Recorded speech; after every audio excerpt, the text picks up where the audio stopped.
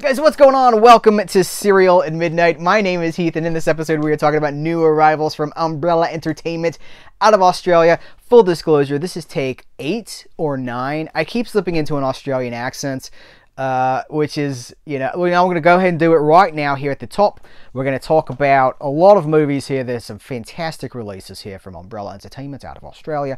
We got Stunt Rock. Is it a documentary? Is it a concert film? Oh, I could go either way. And the Chanda and the Old Pacific Sea. Uh, I know, I know, Australians don't love it, but it's just so much fun. Um, okay, moving on. I have good news. We have these four releases from Umbrella Entertainment, and the great news right here at the top is they are all ABC region free. They play everywhere worldwide, and that's good news because there's some stuff here that is uh, a must buy for a lot of you guys, uh, specifically this edition of Stunt Rock, which I have left sealed because I wanted to I wanted to unwrap it while you watch. Uh, see the hype sticker on that? So there's like a comic inside. I thought that'd be really fun for us to kind of open here on camera.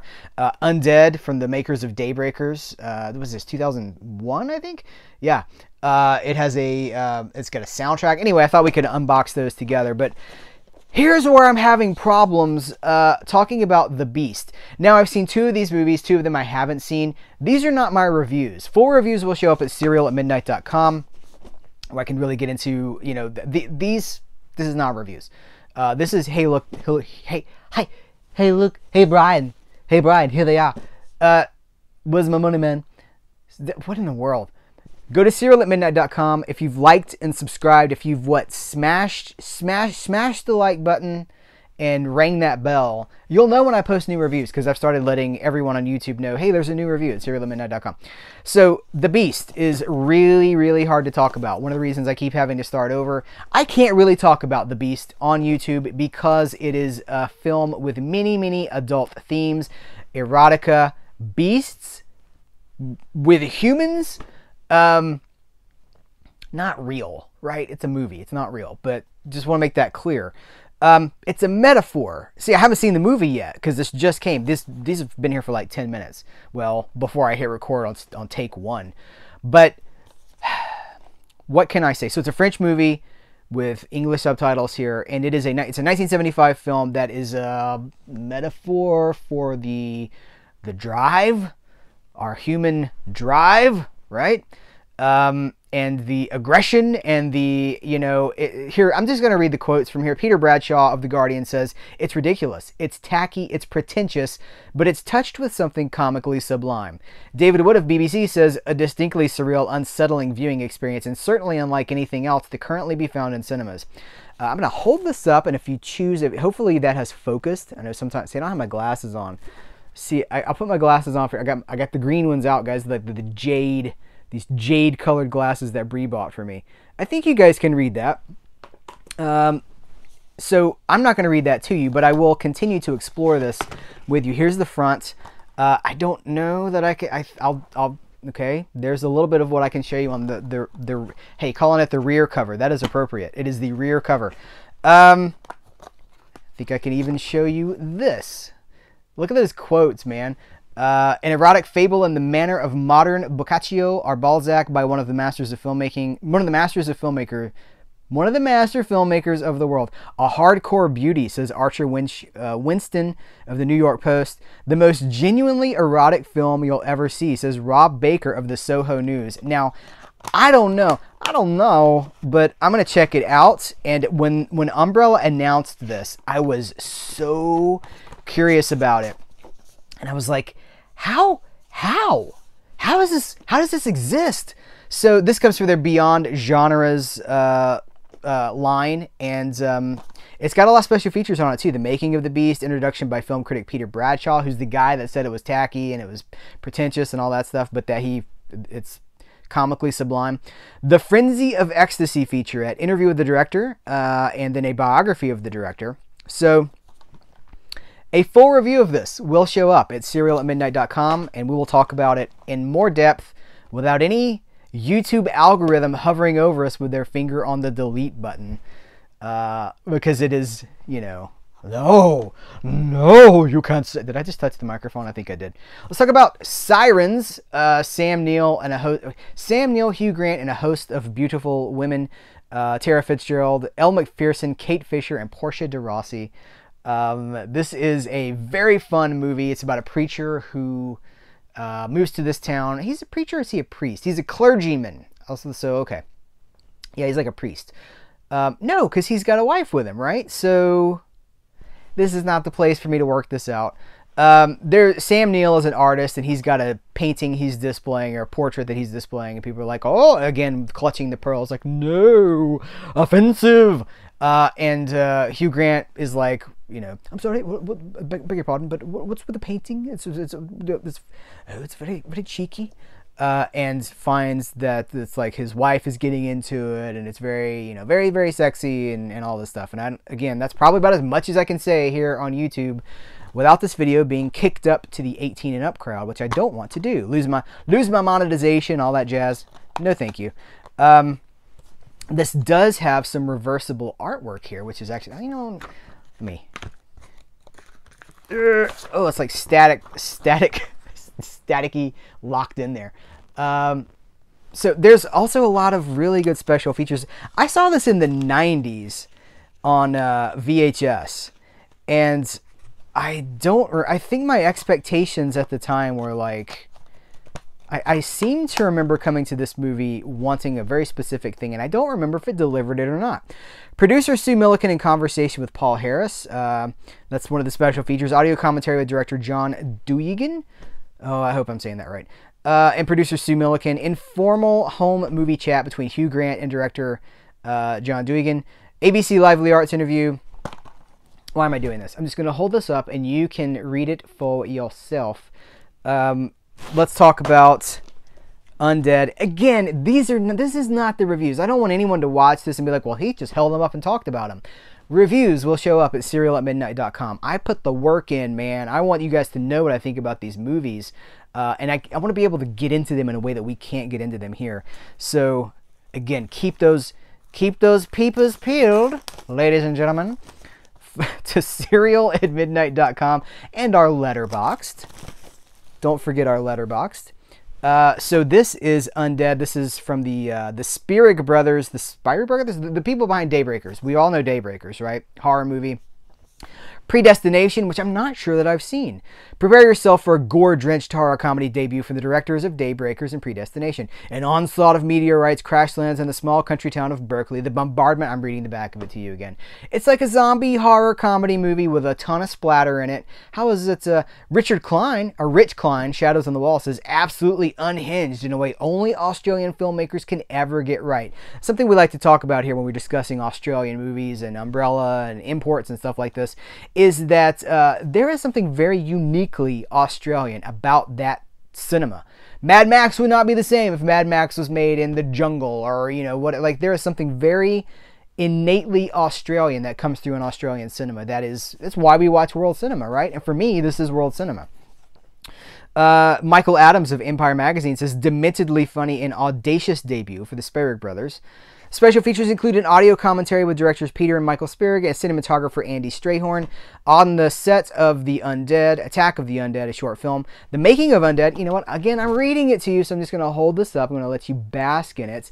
And then I have not seen hold that up too. I have not seen what lies beneath this uh, beyond genres slipcover, so hopefully all is uh, yeah, yeah, yeah. Okay, so I can show that and I can show that. There, let me tell you, there's things in the beast that I can't show, so I'll, I'll, I'll take this. All right, so we have our Blu-ray, that's our first disc there, and then there's going to be our, our soundtrack here. It's upside down. Let me work on that. There's our soundtrack. Uh, what's uh, what is the inside of this flap? Flappy dappy. Shake your flappy dap. What the world? Okay. There's the inner the inner artwork there with the the track listing for the CD soundtrack. Uh, so I've never seen this. I, I, I didn't want to. I don't want to represent myself like I have. I've never seen this. I'll be checking this out for the first time, but I am excited about it, and I'm really excited. You know, Umbrella's putting together for these like sub labels, these lines, these ranges within their branding. So beyond genres, the sunburnt screens, the the exploitation classics, they are really packing the special features in there and raising the prestige for some of this stuff. So uh, I love that. I love to see these physical media editions getting like stuffed to the gills.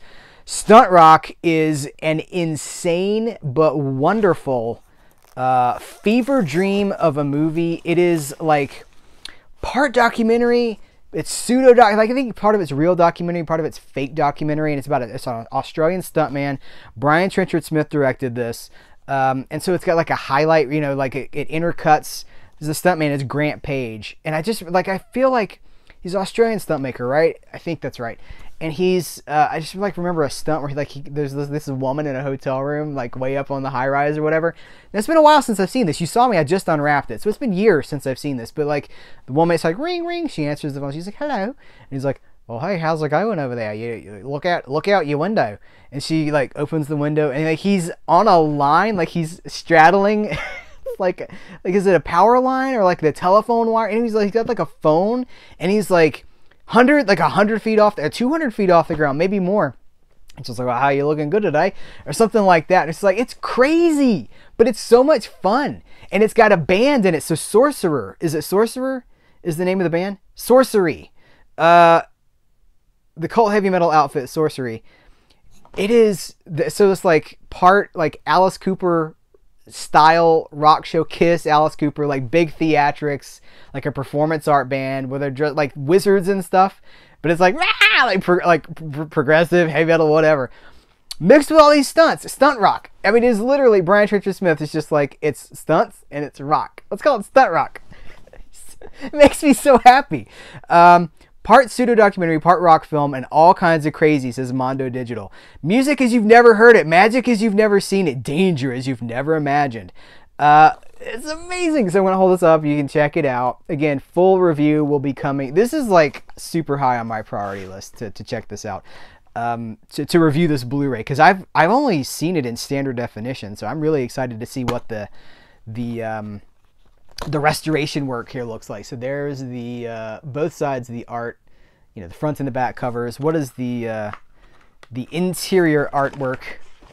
Oh man, this is so freaking cool! Ah, look at this! Look at this! This one's amazing. I want that like as my my phone wallpaper when I when I when I go into my phone. That's what I want to see. That is amazing. Uh, ain't no one alive that drives like drives like him. Crash. Drive 55 so cool. Okay, so this has special features uh, as well. It's got the comic book in here. It's loaded with stuff. I'm going to be honest with you guys. I haven't even seen all this. You've seen it before I have because you just I held it up for you. All new, The Ultimate Rush, a conversation with Brian and Margaret Trenchard Smith. Extended interviews from Not Quite Hollywood. By the way, this is from the Exploitation Classics line. Here's the complete Exploitations Blu-ray line. There's DVDs as well. This is the Blu-ray line where they're really just like stuffing them to the gills with stuff. Um, oh man the interviews with uh, from Not Quite Hollywood, the extended interviews from Not Quite Hollywood were Brian Trenchard Smith and actor stuntman Grant Page. Um, 2008 audio commentary with the director and Grant Page and Margaret Trenchard Smith. 2009 audio commentary uh, with Brian Trenchard Smith, Marty Fink, and actor, actor Richard Blackburn. 2009 intro to the film. 2009 interviews. Huffs. Uh, so, well, Brian Trenchard Smith, Smokey Huffs, Marty Fink. 2009 audio interview with Sorcery drummer Perry Morris.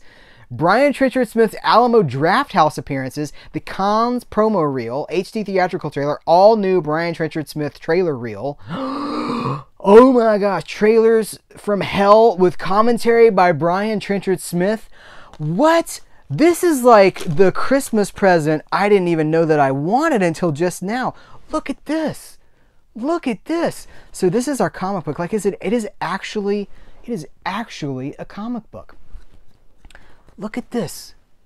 Oh my gosh. Sorcery! A, this you guys gotta see this movie. You've got to see. So you gotta see the movie.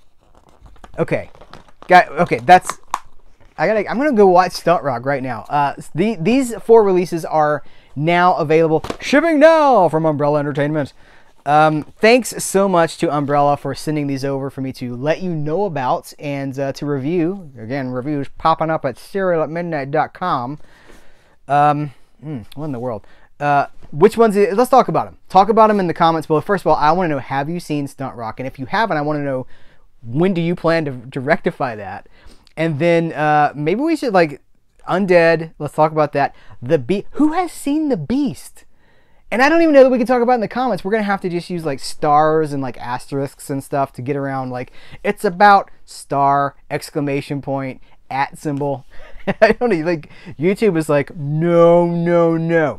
Guys, that's going to do it for this coverage from Umbrella Entertainment. Thank you so much for hanging out. I've had a lot of fun with this one. I hope you have too. Take care. Until next time, here's where to go and what to do.